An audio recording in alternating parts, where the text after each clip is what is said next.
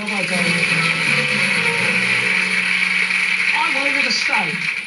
Well, Kim, she's as beautiful as a classic Greek statue and about as smart. Tut, tut, tut. And I still haven't got one wrong. Next to face the chaser.